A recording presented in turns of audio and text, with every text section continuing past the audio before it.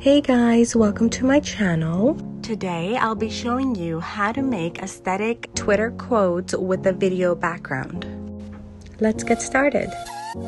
The very first thing you need to do is find a video. I usually find my videos on Pinterest.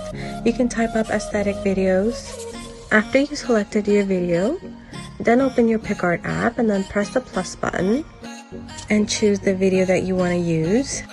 After you select your video, crop it to size. For example, if you're posting on Instagram, you can select the square option or you can just freestyle it. And then press apply. Once you're happy with it, now you can add a picture to it. So what you want to do is press add photo and then select your photo. Then place your photo where you want to place it and resize it. Just play with it.